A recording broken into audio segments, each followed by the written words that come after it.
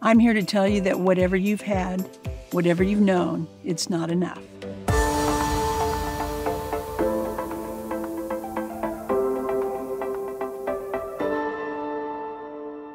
We are on the precipice of a new era.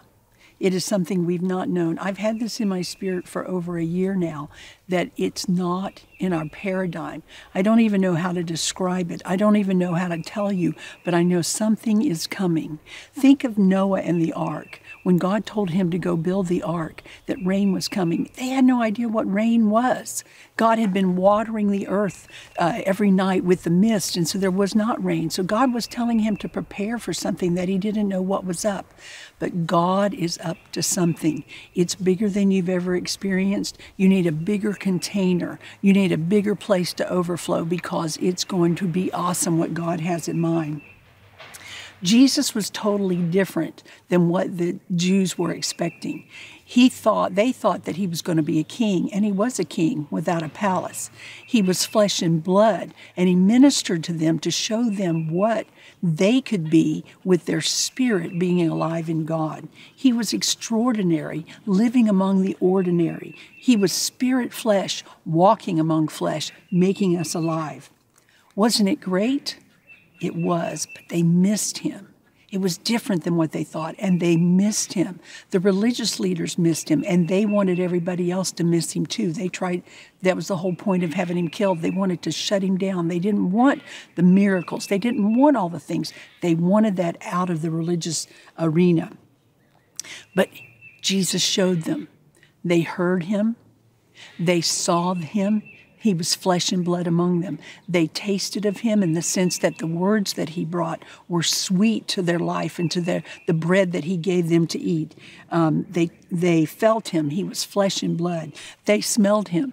There was no smell of hatred or bitterness or even an agenda except for the Father's on him. He walked about and the people directed his ministry. When the woman with the issue of blood came, he stopped and ministered to her. When he was on his way to take care of Jairus' daughter, they came to say, Your daughter's dead. He still went. He said, Don't be afraid. He was among them. They saw it all the time, but it was bigger than they'd ever thought. What God is about to do is different than you've ever thought.